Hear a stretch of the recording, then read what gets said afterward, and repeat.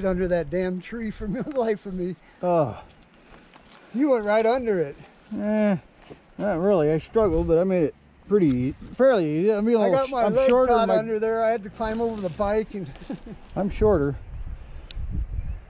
Under, under's good. As long as I don't have to touch. But I'm so tired, and this bike's heavy. It's hard to hold up when you get it laying at that angle. oh, I bet. Yeah.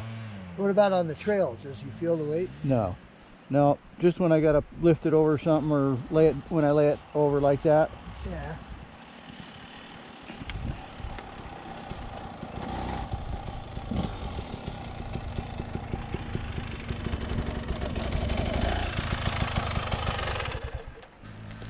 Almost ended up in that mud hole right there. that last mud hole there.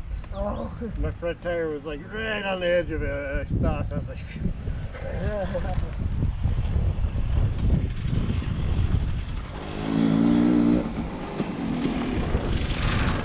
I don't have any trouble on 125. What's that? I don't have any trouble on the 125.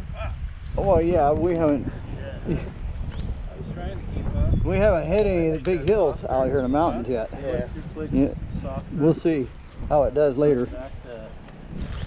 I think I need to soften my suspension right? a click. go Front, back, for softer, up here. Yeah. right here. Yeah, it helps. Well, that's- it didn't even feel- I, I got mine as soft as it'll go. When you get out, I wish it'd go when we softer.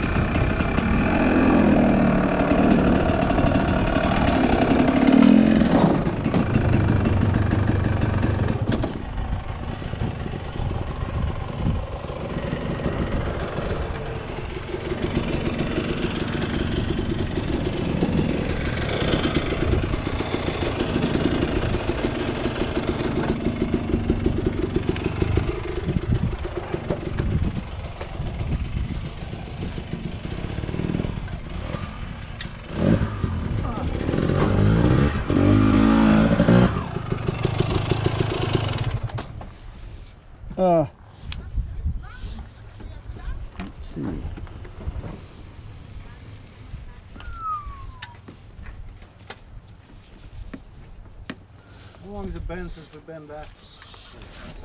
Huh?